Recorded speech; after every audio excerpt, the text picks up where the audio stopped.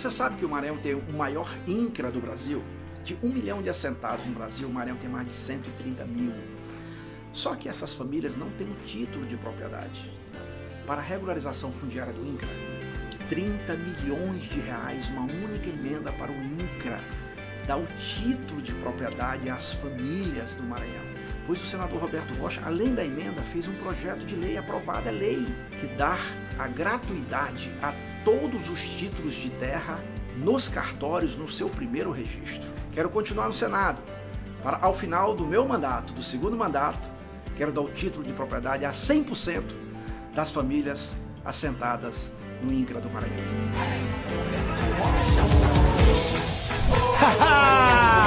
pra frente, Maranhão! Brasil! Agora vai o Rocha!